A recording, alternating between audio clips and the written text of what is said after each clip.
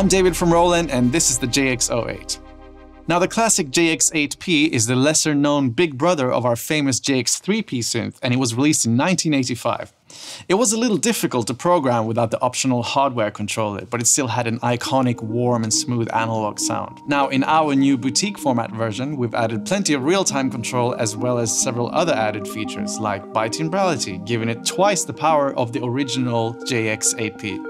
And apart from the original and famous JX8P chorus, we've also added a reverb section and plenty of other new effects. And as usual with the Boutique series, it comes with a very sweet onboard sequencer that also has a trigger input and even an audio and MIDI interface via USB-C. Okay, so let's talk about the sound. So the JX08 comes with multiple original JX8P presets and has a 256 patch storage capacity, so there's plenty of room for sound design. And with its big, warm and smooth sound, it's very capable of generating all kinds of electronic sounds, like big basses.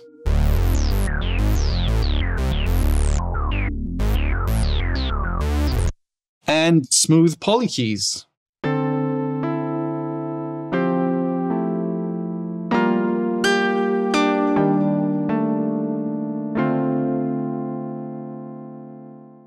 Pluck sounds.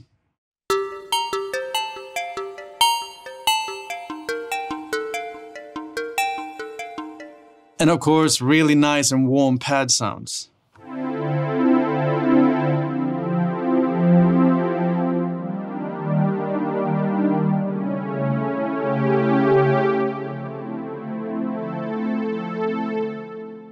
and loads more. But now I'd actually like to talk about real-time control. Now you have access to plenty of sound design options directly on the panel, of course, and I just want to show a few of these uh, using my arpeggiator as a backup. So here we have the cutoff frequency, resonance,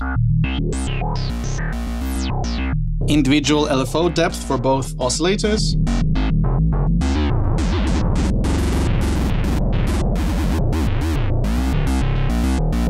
chorus switch. Yeah. And reverb.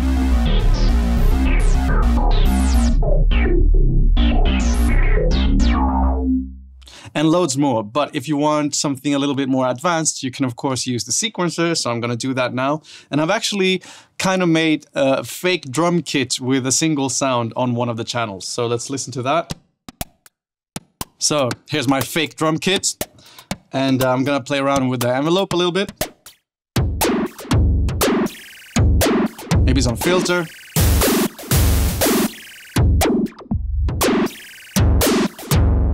Cool, but now I also want to add some bass to this. And that's actually possible because I can add another sequence. So I'm gonna select my second part.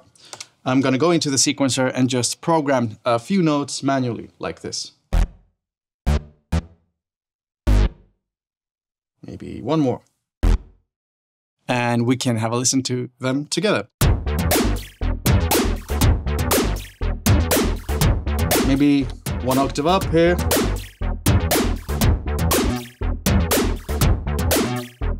And also, we can start recording some parameter changes too.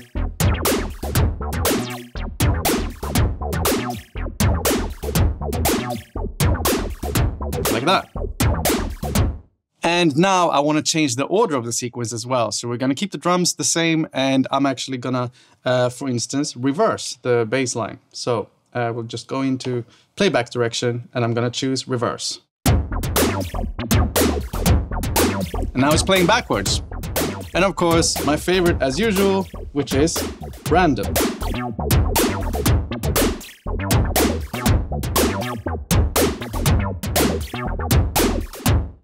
But now I'd like to actually take this one step further because I have connected my TR-06 uh, to play along with us here. And um, you can do this with any, any, drum machine essentially that has a trigger output or anything else that has a trigger output. So uh, we're gonna hook this up.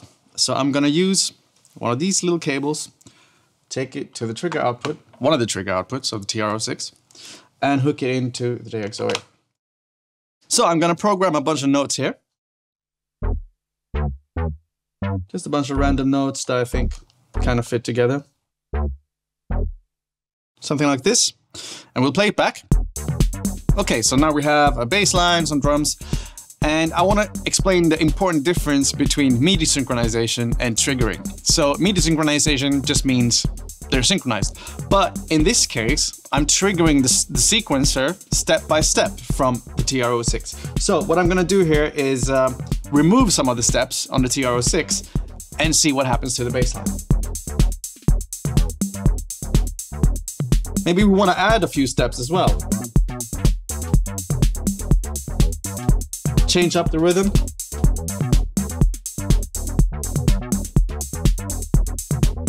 And maybe we'll change the playback direction again to random. Play with some parameters.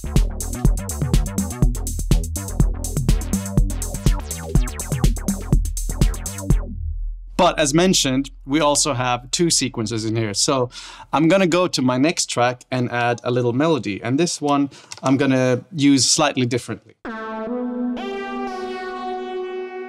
Maybe something like that for starters.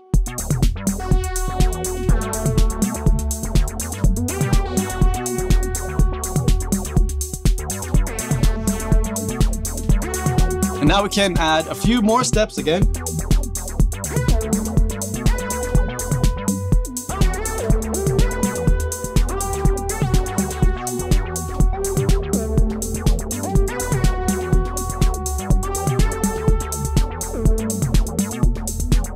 One more.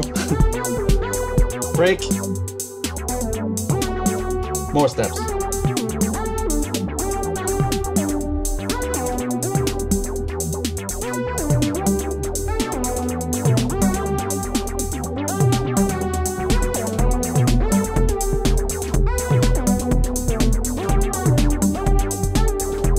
So as you can hear, you can just leave this running for a really long time and have it jam by itself.